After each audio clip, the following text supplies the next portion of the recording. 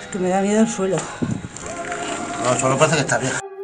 Probando la cámara nueva en un lugar que también era nuevo y mirar que captemos. Increíble. Increíble.